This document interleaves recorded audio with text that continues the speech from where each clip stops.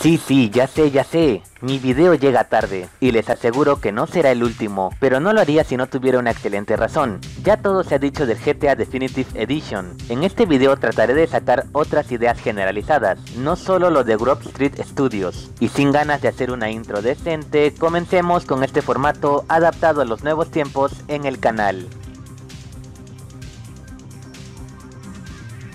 Para las personas que estaban tan ocupadas viendo todos mis videos para apoyar al canal y perdieron noción del tiempo, puede que este título les suene algo nuevo y extraño. Lo cierto es que este GTA era, en teoría, la remasterización definitiva de la trilogía original de los GTA, o sea, el GTA 3, el Vice City y el San Andreas. Este título ya había sido anunciado en filtraciones, pero nadie las daba por verdaderas hasta la poco sutil y poco esmerada campaña de difusión. Recuerda ese dato, pues nos servirá más adelante. Una vez hecho eso, la gente creía que se trataría de una remasterización con ligeras mejoras como ver a Tommy Vercetti nadando, ver a Cloud Speed hablando y ver a Carl Johnson mamadísimo, más de lo normal. Pero la cosa no terminaría así, y ya sabrán el porqué. Cuando llegó el día del lanzamiento, muchos jugadores comprobaron que estaban ante la sorpresa de sus vidas literalmente, porque el juego los sorprendió con su increíble cantidad de bugs, personajes muy caricaturizados, pocas mejoras y un precio demasiado alto para una decepción como esta.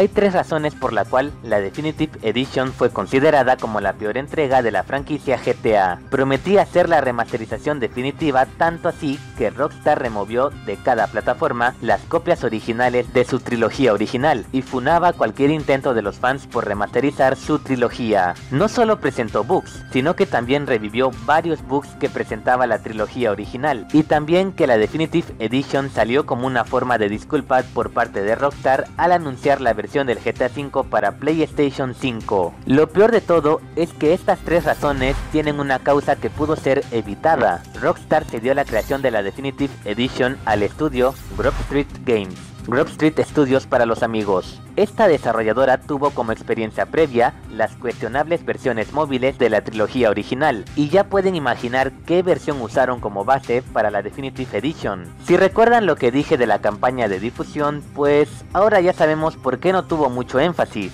ya que parece que Rockstar, al ver el resultado final, decidió vender el juego así como así, mientras menos trailers mejor. Esta decisión, aunada a las tres razones, hicieron que este título no solo sea el peor de todas las versiones que Rockstar sacó a lo largo del tiempo, sino que también fue considerado el peor videojuego de todo el 2021 por lejos, por lejos. Da rabia saber que querían hacernos jugar esta versión sacando las copias originales de cada plataforma y censurando a los modders que hacían versiones más esmeradas de la trilogía en HD. El hecho de ser una sopa de notables bugs tampoco ayuda. Digo, miren esa lluvia toda desganada y que ni siquiera toca el agua. Si Rockstar creía que esta era la forma de disculparse por una versión innecesaria del GTA V para PlayStation 5, pues no ha funcionado y dudo mucho que funcione a futuro.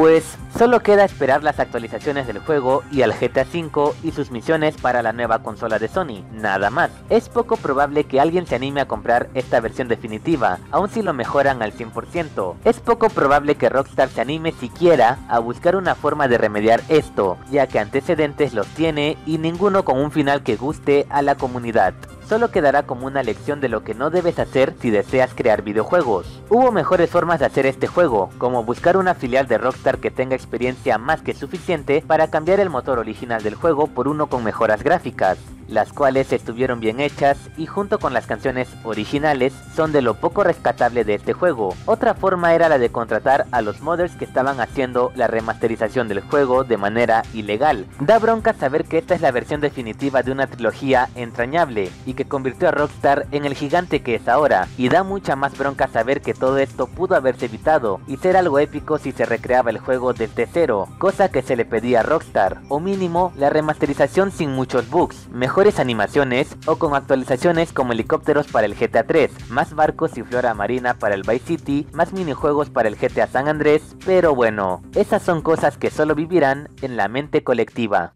Bueno, eso fue todo por hoy. Espero que les encante este regreso de un formato más que olvidado en el canal. Les dejaré en la descripción algunos videos y noticias sobre la Definitive Edition, ya que francamente dejé muchas cosas al aire para no caer en lo repetido y no aplazar tanto el video. Muchas gracias por ver el video, ya saben qué hacer, yo me retiro a editar los demás videos pendientes. Soy Sam Leonardo y nos vemos hasta la próxima.